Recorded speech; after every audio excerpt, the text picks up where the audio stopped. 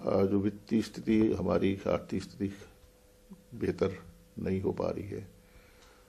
आ, हमें अतिरिक्त संसाधन जुटाने की बहुत ज़्यादा आवश्यकता भी है।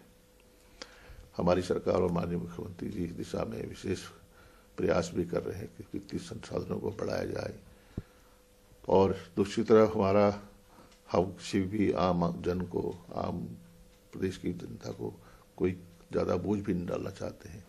हमारे पास पर्यटन बहुत बड़ा व्यवसाय बन सकता है। हमारे जो खनन व्यवसाय है